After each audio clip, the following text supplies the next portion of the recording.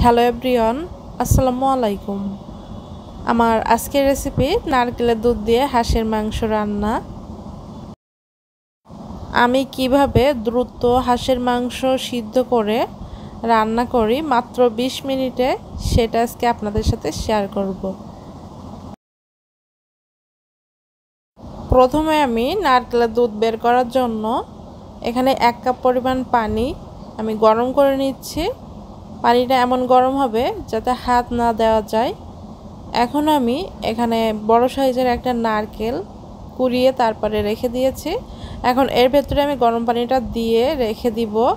দশ থেকে পনেরো সেকেন্ড একটু মিশিয়ে দিচ্ছি ভালোভাবে পানির সাথে।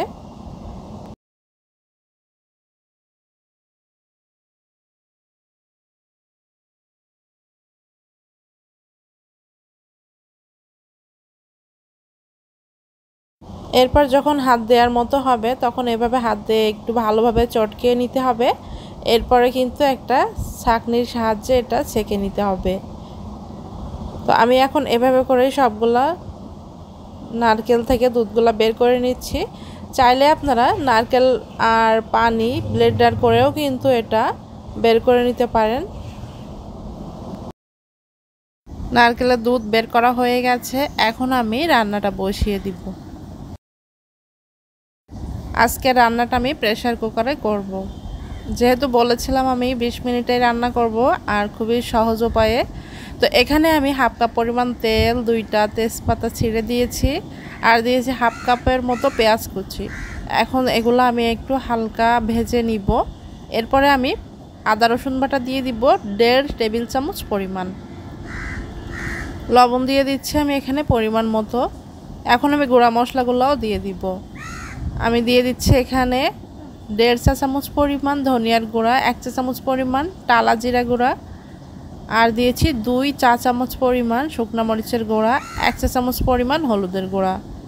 মশলাটা যাতে পুড়ে না যায়, তো আমি এখানে একটু নারকেলের দুধ দিয়ে দিয়েছি। এখন আমি এটা ভালোভাবে কষিয়ে নিব।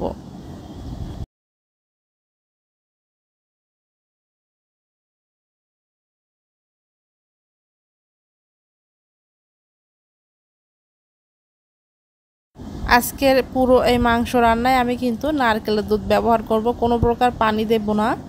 এখানে আমি কিছু আস্ত গরম মশলা দিয়ে দিয়েছি। মশলাটা ভালোভাবে কষানো হয়ে গেলে এখানে আমি পুরো একটা হাঁসের মাংস কেটে রাখা সেটা আমি দিয়ে দিয়েছি। আর এখানে মাংসের পরিমাণ এক কেজি, দুই থেকে তিনশো গ্রাম হবে। যাই হোক, এখানে এখন আমি দিয়ে ভালোভাবে মশলার সাথে মাখিয়ে নিব।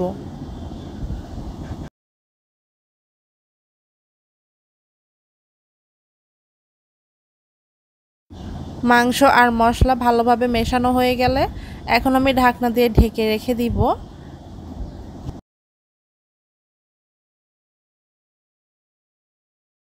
হাঁসের মাংস থেকে কিন্তু পানি বের হয়েছিল। ওই পানিতে আমি মাংসটা ভালোভাবে কষিয়ে নিয়েছি।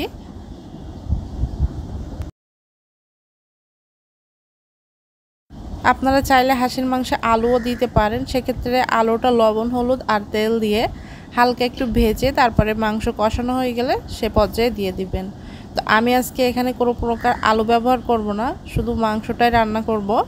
তো এখানে কিন্তু মাংসটা ভালোভাবে কষানো হয়ে গেছে। এখন আমি আরও কিছু নারকেলের দুধ দিয়ে দিচ্ছি।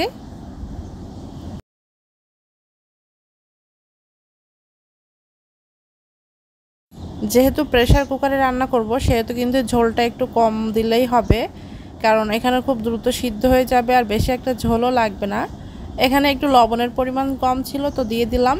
এখন আমি ঢাকনাটা দিয়ে দুইটা সিটি দেওয়া পর্যন্ত অপেক্ষা করব।